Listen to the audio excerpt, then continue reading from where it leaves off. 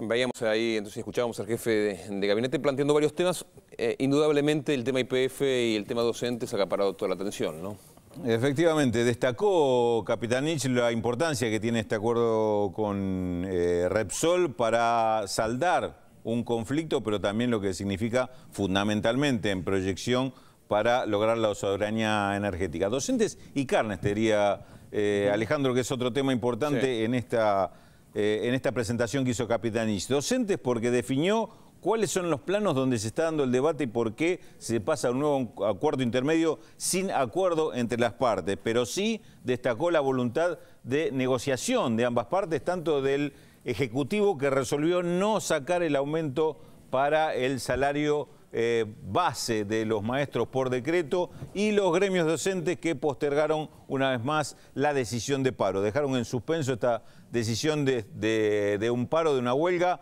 hasta que haya el lunes una nueva reunión entre las partes buscando este acuerdo que hasta ahora parece bastante complicado. En el tema carnes, hizo una referencia muy extensa Capitanich sobre esta negociación que se dio ayer en la mesa de ganado y de carnes donde no participó la mesa de enlace. Esto es interesante verlo, por qué no participa y qué es lo que se está discutiendo en ausencia de eh, las entidades de la eh, mesa de enlace, porque lo que se está discutiendo es no solo el tema de rebajar los precios de algunos cortes, reiteró este tema de que pese a lo que se comentó durante el fin de semana y el día lunes no hubo una autorización de aumentos en los principales cortes de consumo eh, popular, lo que sí hay una preocupación del gobierno, porque a pesar de que, según Capitanich, hubo eh, un amesetamiento de los precios durante este mes de febrero, hubo aumentos anteriores que han eh, colocado los precios de mostrador en algunos escalones mucho más altos de los que tenían en los meses previos, es decir,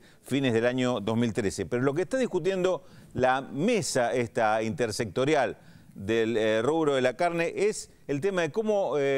formular incentivos para la producción incentivos para eh, mayor engorde de los animales, que estos animales más gordos sean los que se destinen a la exportación y a la vez cómo se hace para también incentivar la producción de otros alimentos sustitutos, otras carnes, aviar, cerdo, para reemplazar en el consumo interno la eh, demanda de ganado vacuno. De estas negociaciones no participa la mesa de enlace. Han decidido no participar de esto que significa planificación del sector para dar una mayor previsibilidad y esto a la vez de tener bajos precios para el consumo popular. La mesa de enlace evidentemente no está de acuerdo con esto de que esté el Estado presente en la planificación y quiere una liberalización completa del mercado, inclusive de las exportaciones, aunque esto perjudique al consumo interno. Ni siquiera los frigoríficos exportadores han asumido esta postura, que se están sentando a negociar con el gobierno, inclusive con la expectativa de que se reanuden las exportaciones de carne, pero en base a garantizar